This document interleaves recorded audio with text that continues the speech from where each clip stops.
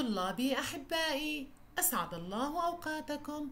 ها نحن نذهب في جولة جديدة حول مهارات الأسبوع الرابع من شهر تشرين الثاني لمادة اللغة العربية للصف الثالث. سنبدأ يا أحبائي في هذا الأسبوع. باستعراض مهارات اللغة العربية التي نبدأ بمهارة القراءة ومهارة الكتابة ومهارة الاستماع والمحادثة والتعبير. سنقوم هذا الأسبوع يا أحبائي باستعراض الدروس التي سيتم تغطيتها لهذا هذا الأسبوع.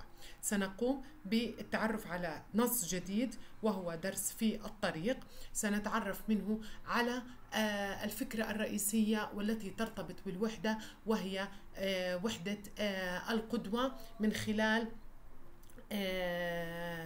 اسم الوحدة من نحن.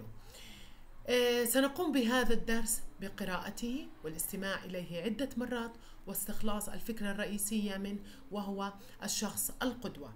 آه، سيقوم الطلاب آه، بقراءة القدوة ومن ثم آه، تحليل الشخصيات الدرس وتمثيلها ومن ثم سنقوم بربطه بوحدة وهي القدوة.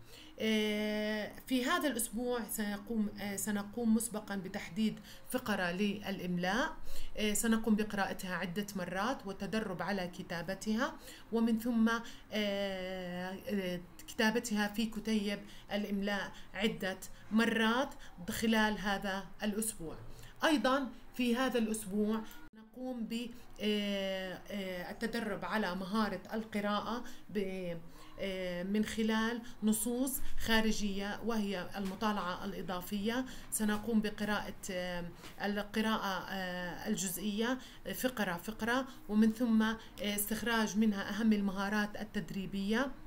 التي تم إعطاؤها مسبقا من اللام الشمسية واللام القمرية همزة الوصل همزة القطع والتاء المربوطة والتاء المفتوحة والهاء وحروف الجر.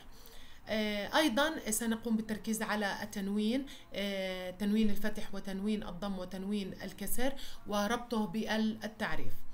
أيضا آه، خلال هذا الأسبوع سيتم التدرب على القراءة والكتابة الإملائية عدة مرات. آه، سيكون لدينا حصة مكتبة سنقوم باستعارة قصة وإعادة القصة القديمة. وخلال حصة المكتبة سيقوم الطلاب بعمل واجب للتعبير آه، يخص أهم الشخصيات المشهورة التي يعتبرها آه، المتعلم قدوة له.